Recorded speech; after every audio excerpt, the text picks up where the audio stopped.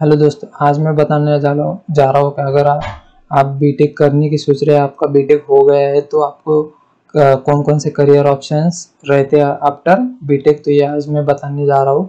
चलिए देखते हैं, अगर चैनल पर नहीं तो सब्सक्राइब कर देना, ताकि ऐसे वीडियो में लाता हूँ तो आपको मिल जाए। तो सबसे पहला है डाटा साइंटिस्ट तो जो डाटा अभी के लिए बहुत ज़्यादा पॉपुलर है वो डाटा साइंटिस्ट डाटा साइंटिस्ट क्या करते हैं? जो डेटा है डेटा रहता है, उसे एनालाइज करने का काम करते हैं मैनेज करने का काम करते हैं। ये भी ऑप्शन आपको बहुत ज़्यादा सूट करेगा। उसके बाद है सॉफ्टवेयर डेवलपर जो बीटेक होता है, उसमें आपको सॉफ्टवेयर डेवलपिंग सिखाई जाती है। तो सबसे ज़्यादा पॉपुलर बीटेक के बाद जो है, वो है सॉफ्टवेयर डेवलपर तो आप बीटेक के बाद सॉफ्टवेयर डेवलप कर सकते हो या किसी कंपनी के लिए भी कर सकते हो या फ्रीलांसिंग भी कर सकते हो।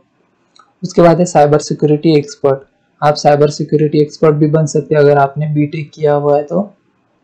जो साइबर अटैक होते हैं, उसके लिए जो एक्सपर्ट चाहिए तो चाहिए होते हैं तो साइबर सिक्योरिटी एक्सपर्ट काम करते हैं उसके लिए।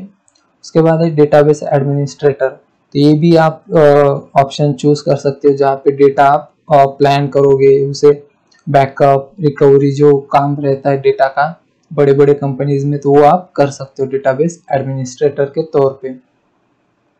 इसके अलावा भी और बहुत सारे ऑप्शंस रहते हैं, जैसे कि मार्केटिंग मैनेजर होता है, उसके बाद बिज़नेस कंसल्टेंट उसके बाद कंप्यूटर सिस्टम एनालिटिक्स रहता है, वो भी है, उसके बाद सर्विस सपोर्ट स्पेशलिस्ट ये कुछ ऑप्शंस है जो आप बीटेक के बाद कर सकते हो।